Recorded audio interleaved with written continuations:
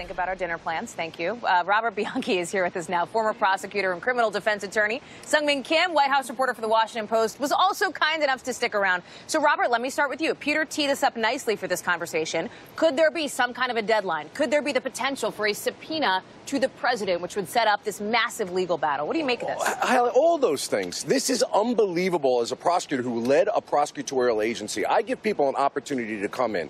If they don't come in to answer all questions, and this is the way the federal government works, right. and I've worked with uh, joint investigations with them, then you go to the grand jury. And as simple as that. They, playing these games is really going to poke the FBI and the U.S. attorney in the eye every time they do it.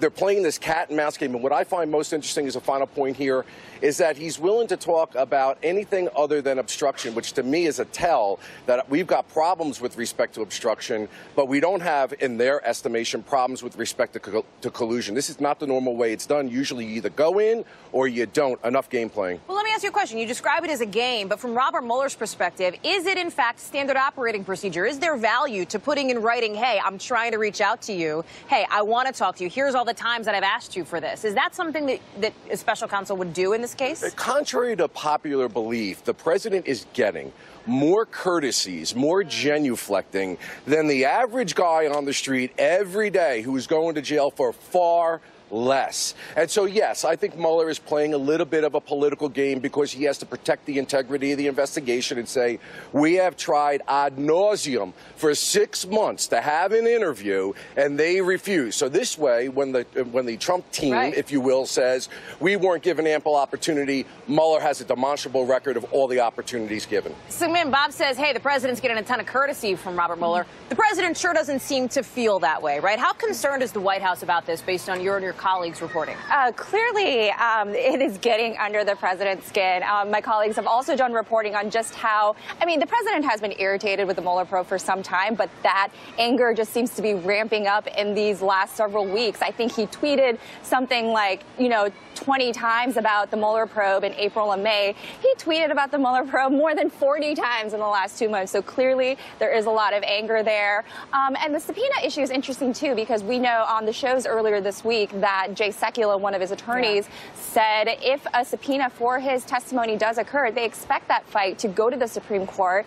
Remember, there's a Supreme Court confirmation battle going on. Brett right. Kavanaugh has talked about these issues of executive power, his view that a president can't be, you know, criminally pursued while he's in office, that it would be a distraction. And you can bet that Democrats will clearly make this a, a focal point of those confirmation hearings. Bob, what about what we heard from Don Jr. Uh, in our lead up to this conversation? The idea that, hey, there's nothing new under the sun about this meeting. You know, his, his father's tweeting about it Sunday, talking about this Trump Tower discussion. There is reporting from Seungmin's uh, paper that there is real concern on the part of the president about whether his kid might be in legal jeopardy. I've been saying this from the get go. this is where the issue is. It's not necessarily about protecting himself. That Trump Tower meeting and now the admission the president is making in the tweet that it was for political purposes, which is, if in fact correct, a crime to get something of value from a foreign person to influence an election. He's worried about his son, and mm-hmm. you can't stop him from testifying against his son because there is no block there constitutionally.